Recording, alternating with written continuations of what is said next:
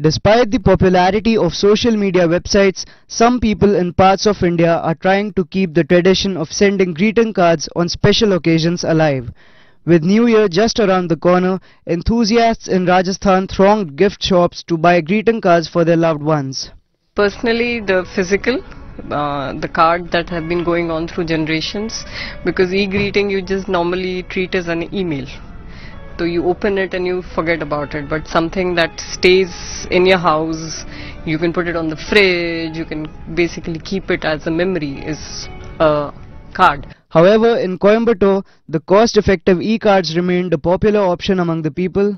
So I think uh, it firstly depends whether you're meeting the person in person or not. So obviously you're meeting him in person, then you will give him a personal card. On the other hand, it also shows uh, the importance of that person in your mind. So typically if the person is important, then you will do everything to make him feel special and then we'll come up with a proper card, probably flowers or a gift or whatever.